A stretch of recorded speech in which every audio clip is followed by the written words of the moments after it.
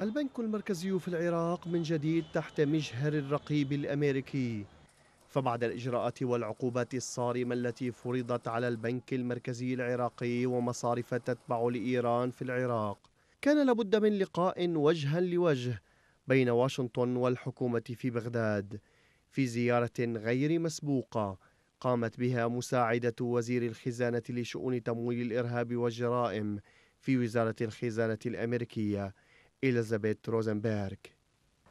لقاء رشح عنه رسائل كثيرة حيث أكدت وكالة رويترز المعلومات الواردة في تقرير موقع قناة الرافدين بشأن تحذير روزنبرغ لكل من رئيس حكومة الإطار التنسيقي محمد السوداني ومحافظ البنك المركزي علي العلاق بشأن التحويلات المشبوهة من الأموال العراقية والتي تذهب إلى إيران وسوريا وحزب الله اللبناني.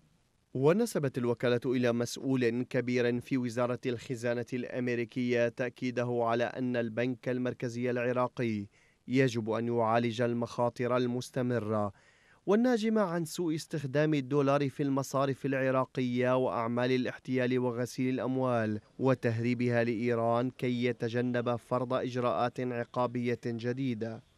وكان تقرير موقع قناة الرافدين قد أكد على أن مساعدة وزير الخزانة الأمريكي أسمعت رئيس حكومة الإطار التنسيقي كلاما غير سار عن ضعف حكومته في السيطرة على الأموال التي وصفتها بالقذرة.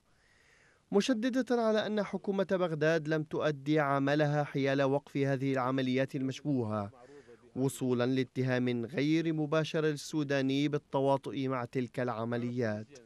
على الجانب الموازي نقلت وكالة رويترز عن المسؤول الأمريكي قوله إنه لا تزال هناك مصارف عراقية أخرى تعمل بمخاطر يجب معالجتها مع وجود احتياطيات تزيد على 100 مليار دولار في الولايات المتحدة حيث يعتمد العراق بشكل كبير على حسن نية واشنطن في ضمان عدم تعرض عائداته النفطية وأمواله هناك للعقوبات الأمريكية.